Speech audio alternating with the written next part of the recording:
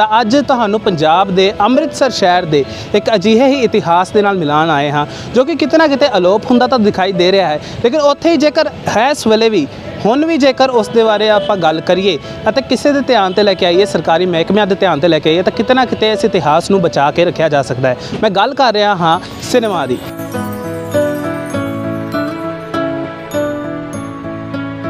ਤਾਂ ਕਹਿ ਸਕਦੇ ਹਾਂ ਕਿ ਅੰਮ੍ਰਿਤਸਰ ਸ਼ਹਿਰ ਦੇ ਵਿੱਚ ਜੋ ਸਿਨੇਮਾ ਦਾ ਇਤਿਹਾਸ ਹੈ, ਉਹ ਵੀ ਕਾਫੀ ਹੀ ਪੁਰਾਣਾ ਹੈ। ਤਾਂ ਅੱਜ ਤੁਹਾਨੂੰ ਅੰਮ੍ਰਿਤਸਰ ਦੇ ਇੱਕ ਅਜਿਹੇ ਸਿਨੇਮਾ ਹਾਲ ਦੇ ਬਾਰੇ ਦੱਸਣ ਆਏ ਹਾਂ, ਜੋ ਕਿ ਜਿਸ ਤਰ੍ਹਾਂ ਹੀ ਕੋਈ ਯਾਤਰੂ ਜਾਂ ਸ਼ਰਧਾਲੂ ਅੰਮ੍ਰਿਤਸਰ ਆਂਦਾ ਹੈ, ਤਾਂ ਸਭ ਤੋਂ ਪਹਿਲਾਂ ਉਸ ਦੇ ਉੱਤੇ ਹੀ ਉਸ ਦੀ ਨਿਗਾਹ ਪੈਂਦੀ ਹੈ। ਜੀ ਹਾਂ, ਤੁਸੀਂ ਮੇਰੇ ਇਸ ਵੇਲੇ ਤਸਵੀਰਾਂ ਦੇ ਵਿੱਚ ਬਿਲਡਿੰਗ ਜੋ ਦੇਖ ਸਕਦੇ ਹੋ, ਉਹ ਹੈ ਚਿੱਤਰਾ ਸਿਨੇਮਾ ਦੀ ਬਿਲਡਿੰਗ।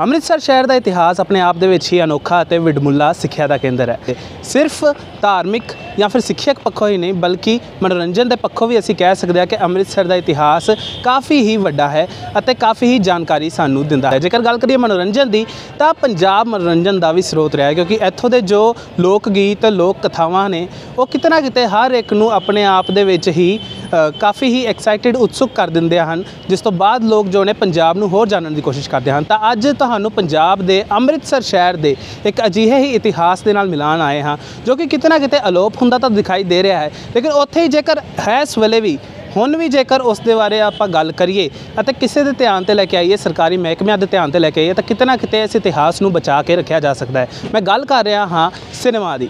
ਤਾਂ ਕਹਿ ਸਕਦੇ ਹਾਂ ਕਿ ਅੰਮ੍ਰਿਤਸਰ ਸ਼ਹਿਰ ਦੇ ਵਿੱਚ ਜੋ ਸਿਨੇਮਾ ਦਾ ਇਤਿਹਾਸ ਹੈ, ਉਹ ਵੀ ਕਾਫੀ ਹੀ ਪੁਰਾਣਾ ਹੈ।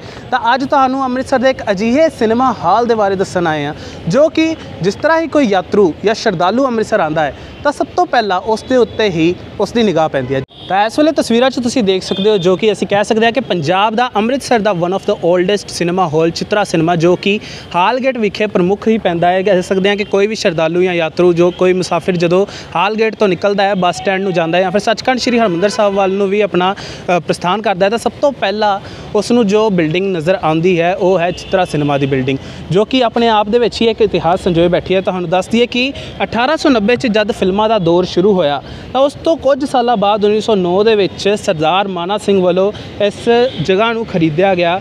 ਜਿਸ ਤੋਂ ਬਾਅਦ 23000 ਰੁਪਏ ਦੇ ਵਿੱਚ ਆਕਸ਼ਨ ਦੇ ਦੌਰਾਨ ਇਸ ਜਗ੍ਹਾ ਨੂੰ ਸਰਦਾਰ ਮਾਨਾ ਸਿੰਘ ਵੱਲੋਂ ਖਰੀਦਿਆ ਗਿਆ ਤੇ 1915 ਦੇ ਵਿੱਚ ਇਹ ਸਿਨੇਮਾ ਹਾਲ ਜੋ ਹੈ ਬਣ ਕੇ ਤਿਆਰ ਹੋ ਗਿਆ। ਤੁਹਾਨੂੰ ਦੱਸ ਦਈਏ ਕਿ ਦੋਵੇਂ ਭਾਰਤੀ ਅਤੇ ਪੱਛਮੀ ਜੋ ਐਲੀਮੈਂਟ ਸੀ, ਜੋ ਸਭਿਅਤਾਵਾਂ ਸੀ, ਉਹਨਾਂ ਦਾ ਇੱਕ ਸੰਯੋਗ ਆਪਾਂ ਕਹਿ ਸਕਦੇ ਹਾਂ ਸੁਮੇਲ ਕਰਕੇ ਇਸ ਸਿਨੇਮਾ ਹਾਲ ਨੂੰ ਬਣਾਇਆ ਗਿਆ ਸੀ ਅਤੇ ਫਿਲਮਾਂ ਦੇ ਦੌਰ ਨੂੰ ਇੱਥੇ ਸ਼ੁਰੂ ਕੀਤਾ ਗਿਆ ਸੀ।